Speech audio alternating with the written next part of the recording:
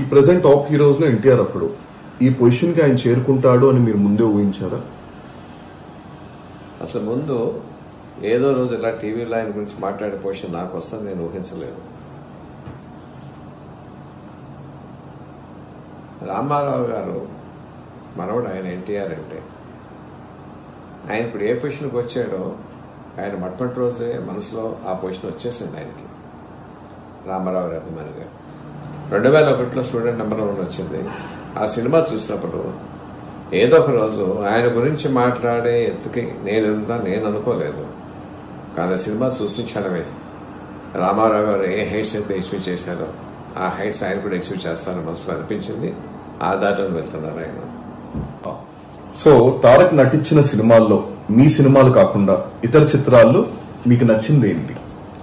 అంటే సినిమాలకి అయితే అన్నీ నచ్చుతాయండి. కాకపోతే మా సినిమాల్లో ఏమి షేడ్స్ ఉన్నాయో అన్ని సినిమాల్లో అవే షేడ్స్ ఉన్నాయి. ఒక ఫైవ్ పర్సెంట్ ఎక్కువ ఫైవ్ పర్సెంట్ తక్కువ కానీ అన్నిటికీ వ్యత్యాసంగా వినయ్ గారి సినిమా దృష్టిలో చారి పాత్రలో ఎన్నిసార్లు చూసినా నవ్వస్తానే